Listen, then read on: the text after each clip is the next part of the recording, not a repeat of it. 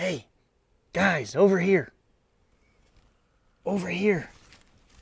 Today, I've seen something cool across the road. Uh, the osprey is eating trout out of my neighbor's pond. But uh, they have such good eyesight that I can't just go over there in normal civilian clothing. He'd be gone before I even get across the driveway. So Hannah helped me do some camouflage, and uh, we've got some camo for the gear, and we're going to try to sneak over and take pictures of him without him taking off. But if he does take off, we're going to set up, hence the camo, and lay in wait and see if we can get him when he comes back. So here we are at the trout pond, guys. Uh, he actually left before I got a chance to come over, but he likes to land in uh, that tree there, that tree there, and I'm just going to set up somewhere along the edge of the bush here, somewhere, and try to catch him. Maybe try to get some action shots of him diving into the pond. It's full of trout that uh, my neighbor Wynn stocks, speckleds, rainbows, so I'm actually back a little further from the pond than I wanted, but uh, I've got a pretty good shot of the trees that he's been landing in the last couple nights, so. Okay, there he is. He's come back. Got a couple. I can get some shots here, but I'm not as close as I want to be.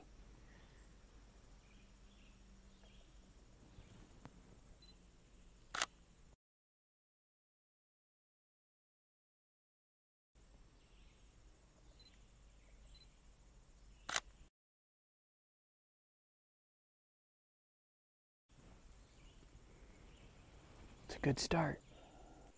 Well, he never did land in the pond. He took off immediately as soon as I rustled around, so I don't think my camo did squat. but we tried. I'm sitting here on stakeout at Wynn's, and there comes a deer.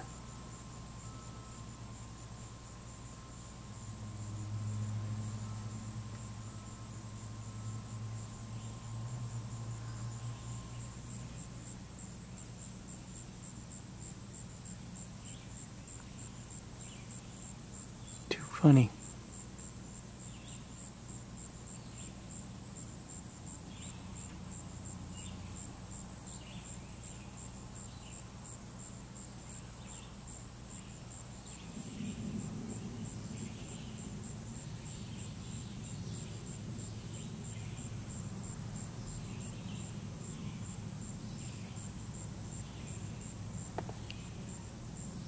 She has no clue I'm here.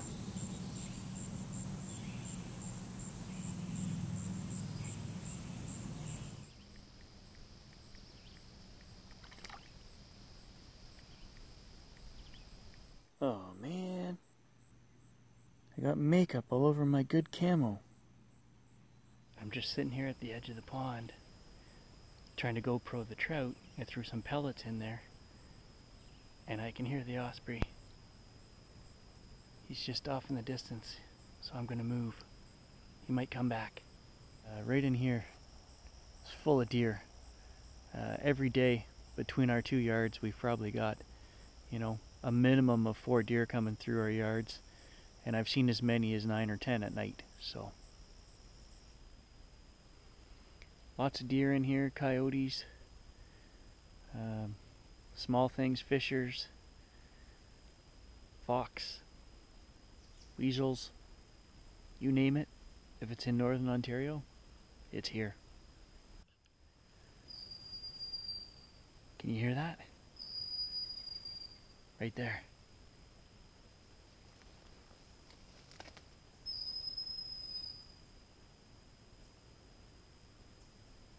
I'm kind of hidden in the forest now. I moved away from the pond.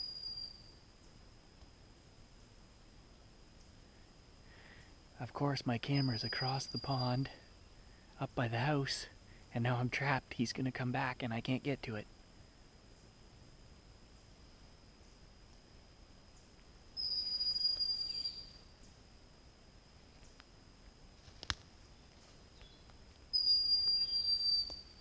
Oh, I should go get my camera. I know it.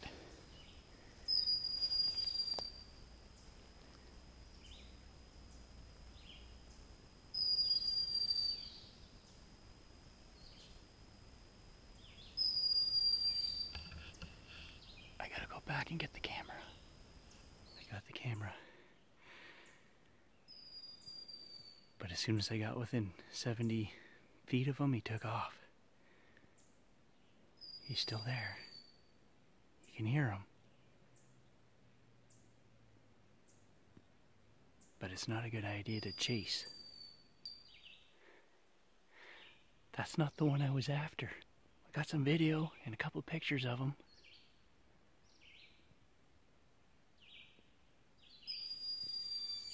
Freaking cool.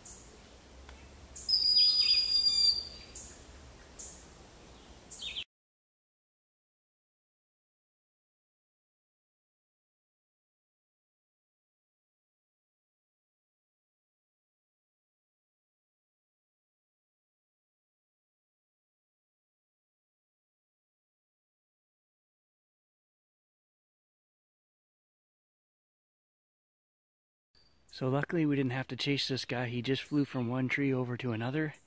And uh, we're just going to leave him alone and not stress him out too much. Pretty cool though. So my persistence paid off, guys. It took about three hours, but I got some great shots, video, and uh, the day's not over. We're going to go back to my place and chase some deer around and uh, check the trail cameras. I put out some fruit, so we'll throw the trail camera stuff at the end of this video.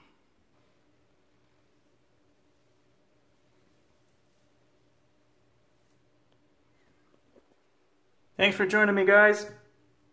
I'm going to clean up, and uh, you guys enjoy the rest of the clips from the trail camera.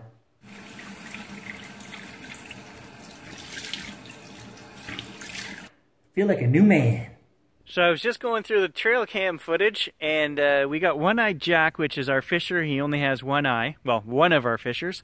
And uh, I have a really cool scene. Unfortunately, there's a stick that has fallen down in front of the camera. So it's creating a big white line on the camera.